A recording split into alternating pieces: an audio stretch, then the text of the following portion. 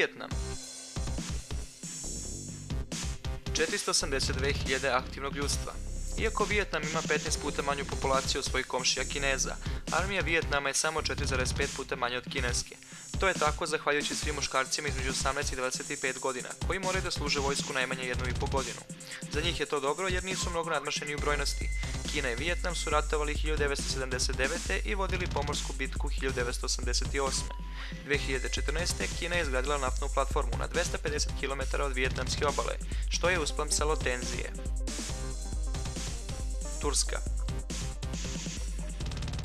510.600 aktivnog ljudstva. Turska je druga najveća članica NATO-a, ali postoji izveštaj o maltretiranju i mučenju u turskoj armiji, što je dovelo do dosta kontraverzi. Iran 534.000 aktivnog ljudstva. Iranska armija je nedavno razvila dronove samoubice, koji napadaju helikoptere, nosače aviona i moguće civilne mete.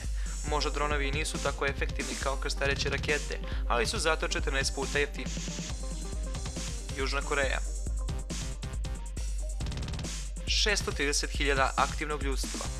Severnokorejska armija je možda brojnija od južnokorejske u odnosu 2 prema 1, ali Južna Koreja troši tri puta više novca na svoje snage.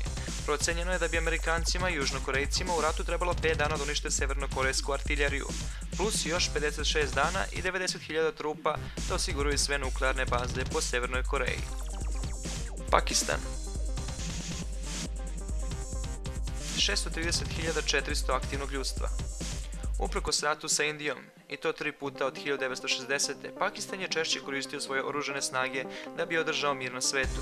Pakistan igra aktivnu ulogu u Ujedinjenim nacijama i često obezbeđuje svoje trupe za mirovne misije, više nego druge zemlje. Rusija 768.500 aktivnog ljudstva. Rusija ima više nuklearnog oružja nego bilo koja druga zemlja na svetu, sa oko 8000 bojevi glava, 500 više od Amerike. Rusija je također čuvena po svojim specijalnim jedinicama kao što je Spetsnaz, koji ima najbrutalniji i ujedno najbolji trening na celom svetu. Severna Koreja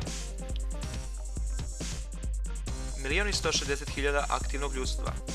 Skoro 4 od 10 severnokorejaca radi pri armiji, ako u to uključimo i rezervno ljudstvo. Mada to i nije iznenađujuće jer je Severna Koreja u ratu od 1950. godine, jer između Južne i Severne Koreje nije potpisan mirovni sporazum. Kongres Sjedinjenih država je objavio da je Severna Koreja postigla značajan napredak u razvijenju balističkih raketa, koje bi moglo da pogode Ameriku. Indija Milijoni 325.000 aktivnog ljudstva. Indijske oružane snage kontrolišu najviše bojno polje na svetu, Siješen glečer, koji je 6700 metara iznad nivoa mora i najviše naseljeno mesto na svetu. Više trupa je umrlo na tom mestu od preteških prirodnih uslova nego od borbe sa Pakistanom. Održavanje baze u Indiju košta 300 miliona dolara godišnje. Sjedinjene američke države Milijoni 431.000 aktivnog ljudstva. Troškovi američke vojske dostižu 618 milijardi dolara, više nego bilo koja država na ovoj listi.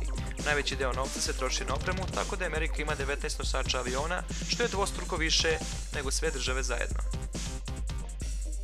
Kina 2 miliona i 285 hiljada aktivnog ljudstva. Kina možda ima najviše trupa i oružane snage Kine su dvostruko brojnije od američkih, ali kineski vojni budžet je 80% manji od američkog. Ali ipak Narodna oslobodilačka armija je razvila dobru tehnologiju, uključujući Dongfeng 21D kopneru raketu, posebno da pogodi nosač aviona koji je udaljen 3200 km od obale. Kineske interkontinentalne balističke rakete su sposobne za nuklearni napad, bilo gde u Sjedinjenim američkim državama.